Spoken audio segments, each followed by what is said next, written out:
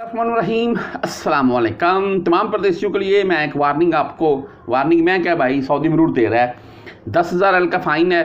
چھوٹی سی غلطیاں ہمیں، آپ کو پتہ ہے، ہم اگر موبائل یوز کر رہے ہیں کہ ہم گاڑی چلاتے ہوئے پانچ سو ریال کا، سات سو ریال کا، تین سو ریال کا، ابھی تو وہ بیلٹ کا فائن بھی تین سو ریال کر دیا۔ حالانکہ پہلے وہ ایک سو پچاس ریال عام ہوتے تھے۔ اچھا بہرحال جی یہ میں بات اب دس ریال کا جو یہ جرمانہ متعارف کروایا گیا ہے، باقاعدہ وارننگ ہے۔ میں تمام پردیسیوں کو میں نے بولا شارٹ سی ویڈیو بنا کر آپ بھائیوں کو اپڈیٹ کر دوں۔ آپ میں سے جو میرے بھائی خاص کر ڈرائیور ہیں، یہ ڈرائیور نہیں ہے تو آپ کے کو تعلق والا اگر کوئی دوست احباب آپ کا ہے جی ڈرائیونگ کے معاملات کو لے کر، تو وہ ان کے لیے خاص کر ہے جی۔ یہ چیز ہے جی کہ اگر آپ کو پتہ سعودی میں اس وقت بارشوں کا سلسلہ جاری ہے، شاید آپ کو ایک میں ویڈیو دکھا رہا ہوں، کل یہ مدینہ المنورہ کی ہے جی لائیو ریکارڈنگ دیکھ لیں آپ۔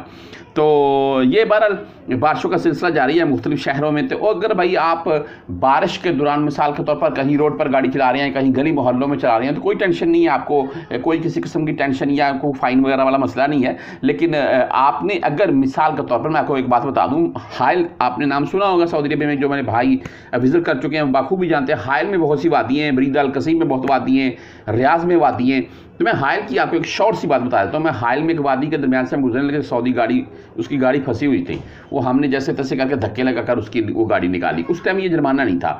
ابھی جو صورتحال میں آپ کو بتا دوں بھائی کہ اگر آپ بیس کوئی بھی میرا بھائی ڈرائیور ہے، میں آپ کو شاید ایک آدھ ویڈیو چلا کر دکھا رہا ہوں میں۔ اگر آپ مثال کے طور پر کسی ایسے علاقے میں، جیسے کہ جزان والی سائڈ ہے، وہاں پر وادیاں بہت ہیں۔ ان علاقوں میں کہیں بھی موجود ہیں تو آپ اگر گاڑی چلا کر لے کر جاتے ہیں اور شارٹ مارتے ہیں کہ میں وہ اوپر سے چلا جاؤں گا، بھائی، ادھر سے مجھے رستہ زیادہ پڑے گا اور یہاں سے شارٹ ہو جاتا ہوں۔